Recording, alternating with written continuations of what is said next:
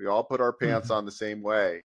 That's mm-hmm. that's such a that's such a limiting belief because I was feeling the mm-hmm. same way. And then I was like, I need I need my VA to Jeff to help me do this thing. And and I met with Bill. Obviously, we work with both work with Bill. Yep.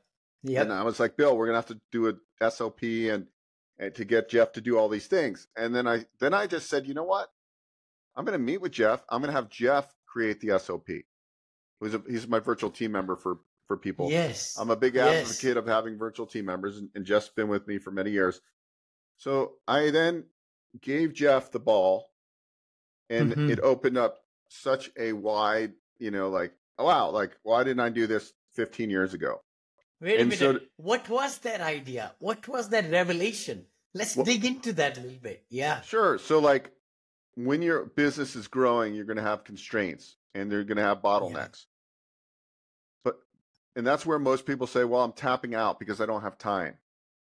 Well, mm-hmm. everybody mm-hmm. has time. The, you can do as much as humanly you can imagine, right? Mm-hmm. Like, there's no really, like, just our reality is that we can only do this much, right? But really, the reality yeah. is you can do a lot more if you understand how to orchestrate and delegate and automate. Mm-hmm. And so that was my real big kind of like I knew it, but I never it just it I guess it just clicked in my mind and I'm like, you know what? Jeff, this is your job. This is what I want you to do. I don't need to create the SOP. You do.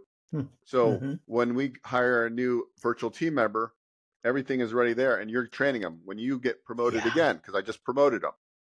Mm-hmm. And now I and then all of a sudden mm. I was like, do this, do this, do this. Now everything is starting to click. And I'm like, okay, well, I need to now my two content editors and social media yes. people, I'm going to do the same thing. Look, it's not always my idea to think of what cre- creative art we need to do.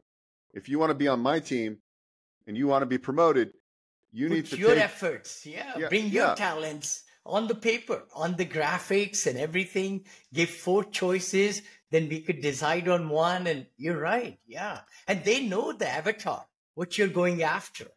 Well, they yeah, they've, They've edited they've edited a thousand videos now. They understand yeah. my messaging. So I'm going to meet yeah. with Nell, and I'm going to say, Nell, you know, you need. She's probably going to edit this video. Like you, uh, right? Like Nell, this is your baby now, not mine, right? Exactly. You, like exactly. Here's some tools. Now, what I need to do as a good leader is show some tools. Um, yeah. And like some, here's some ideas I had. And so, like, it's as simple as going into it, the trans transcription of a podcast or a webinar, mm-hmm. getting mm-hmm. that transcription, and then putting a prompt in that says, "Look, take three or four of the top, you know, key points of this conversation and create a social media or create a, a reel around that."